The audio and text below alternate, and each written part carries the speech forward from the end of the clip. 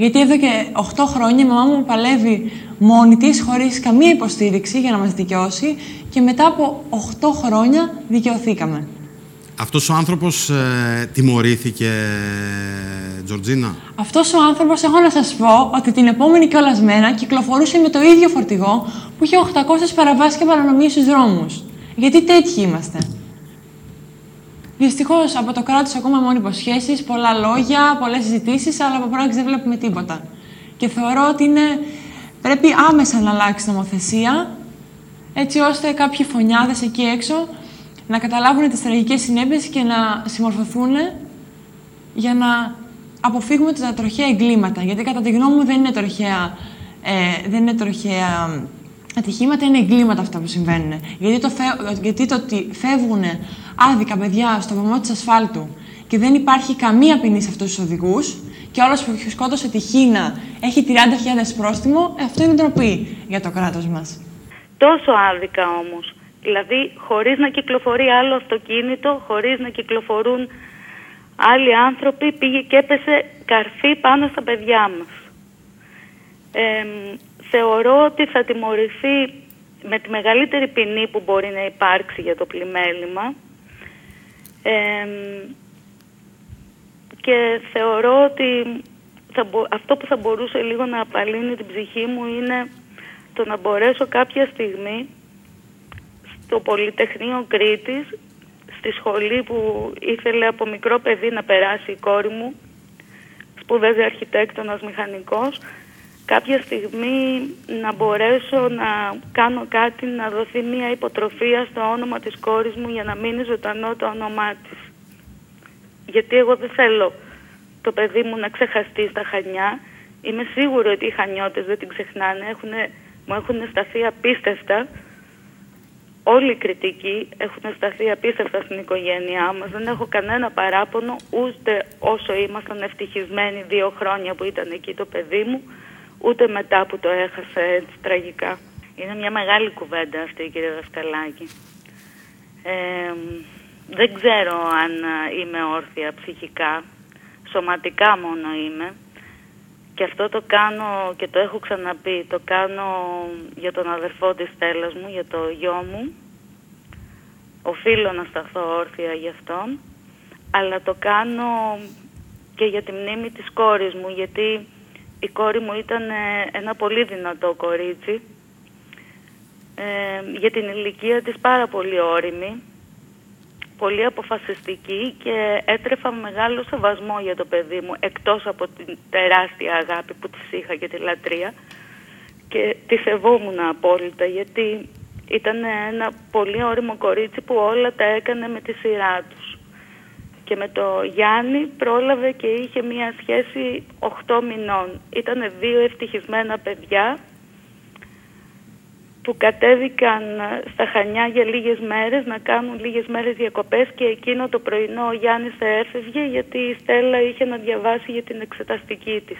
Γιατί εκείνη την ώρα πέρασε αυτός ο άνθρωπος με μια ταχύτητα που όλοι είδανε τότε στο βίντεο που υπήρξε και δείξαν όλες τις τηλεοράσεις. Και βλέπουμε και εικόνες, κυρία Γιωράνα, από το συγκεκριμένο τροχαίο ε, έπεσε με τρομερή ταχύτητα πάνω στα παιδιά, με τρομερή ταχύτητα πάνω στα παιδιά, όπου όλοι οι γιατροί μας διαβεβαίωσαν ότι δεν πρόλαβαν να καταλάβουν καν τα παιδιά τίποτα. Γιατί η αγωνία μας ήταν αν πρόλαβαν αυτά τα παιδιά να πούνε μαμά. Δεν πρόλαβαν ούτε καν να καταλάβουν. Παρέσυρε τα παιδιά παρέσυρε το Γιάννη, τον άφησε στα 70 μέτρα και τη Στέλλα μου την είχε πάνω στο καπό του αυτοκινήτου, επιτάχυνε και την άφησε στα 100 μέτρα. Επειδή τον δρόμο αυτό ξέραμε γιατί είναι δίπλα στο σπίτι και όλοι οι οδηγοί είτε με αυτοκίνητα είτε με μηχανάκια για να μην πέσουμε μέσα, την παρακάμπταμε και μπαίναμε στο αντίθετο ρεύμα. Εάν όμως συνέβαινε να έρχεται αυτοκίνητο, αναγκαστικά περνάγαμε από εκεί. Έτσι έγινε και με τον Νικήτα.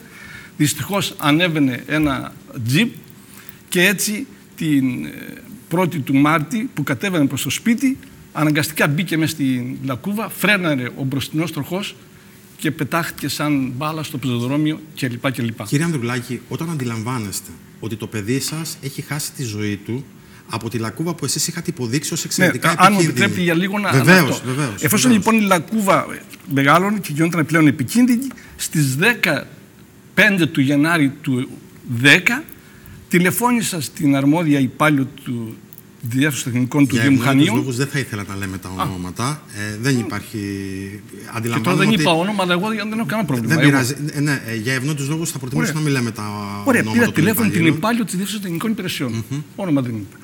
Η οποία την ίδια μέρα εξέδωσε το υπαρίθμο 15 κάτω 10 υπηρεσιακό σημείωμα προ ασφαλτικά, αναγράφοντα οδός Μιχελογιάννη αριθμός 33, Λακούβα, ΣΟΣ.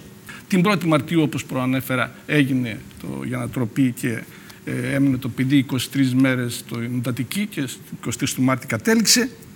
Και η Λακούβα φτιάχτηκε και καθόμαστε όλοι για να μπέσουμε παραμονή του μνημοσύνου, 22 Απριλίου.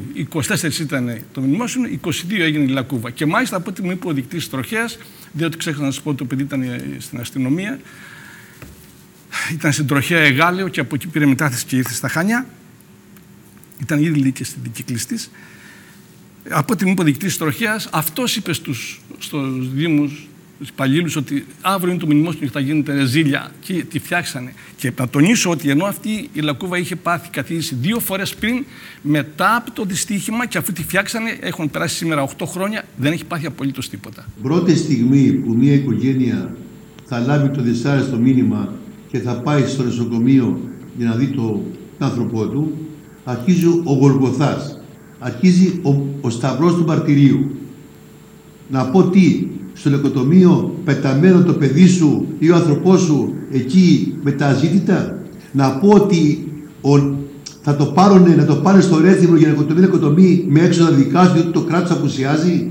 Να πω ότι στα δικαστήρια θα σένει την οικογένεια πάνω από 8 χρόνια και θα έχουν σειρά για εκδίκαση πρώτα τα κουνέλια, οι κότες και οι γάτες. Τι να πρωτοπώ. Να πω ότι ξεκινάμε, όπως είπε ο αστυνόμος πριν, για μένα ασφαλμένα, ότι είναι εξαμελίας. Όχι, λάθος. Ο ποινικός κώδικας δεν προβλέπει δικονομία εξαμελίας πρώτο. Προβλέπει να γίνει έλεγχος. Αλλά εμείς όλοι μας έχουμε μάθει όλη εξαμελίας. Πρέπει να κοιτάξουμε να δούμε μήπως αυτός ο άνθρωπος έχει παραβεί τόσες νομοθεσίες ώστε να πάει για την ασφάλεια δικών κοινωνιών και κακούργημα